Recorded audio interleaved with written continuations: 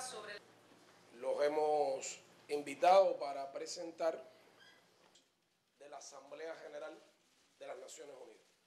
Es decir, este es el momento en que presentamos país. Un estimado nos está dando que estamos pagando anualmente En el último año, la aplicación del bloqueo por el gobierno, las agencias de Estados Unidos encargadas del tema, ha alcanzado niveles sin precedentes. La aplicación del bloqueo ha alcanzado niveles de esquizofrenia.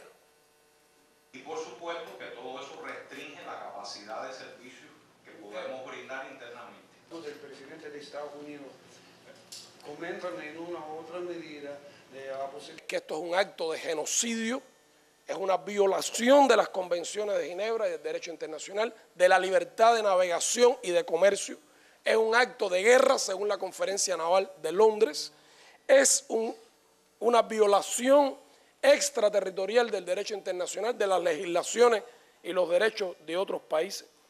El bloqueo viola los derechos sin distinción de edad, de sexo, de raza, de credo religioso o de posición social. Evidentemente esto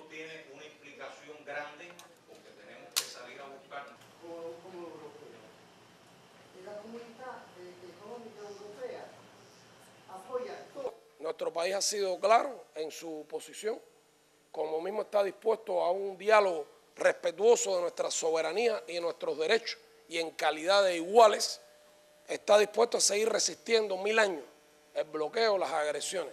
Y si no ha sido puesto de rodillas hasta hoy, mucho menos lo será en el futuro.